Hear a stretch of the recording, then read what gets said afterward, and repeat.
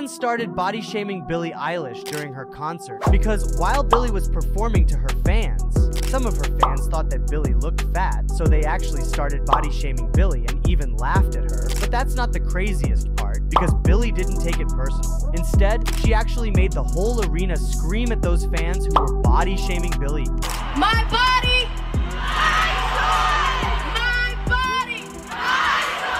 But if you think they deserved it, subscribe.